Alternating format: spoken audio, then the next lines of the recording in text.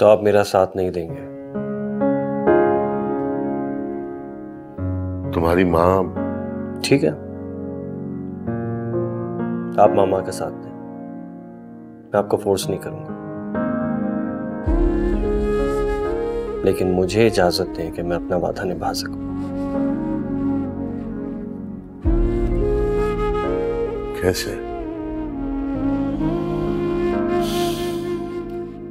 चाहे कोई मेरा साथ दे या ना दे, चाहे मेरे साथ कोई जाए या ना जाए, लेकिन मैं पप्पो के घर जुम्मे वाले दिन ज़रूर जाऊँगा। अपना वादा निभाऊँगा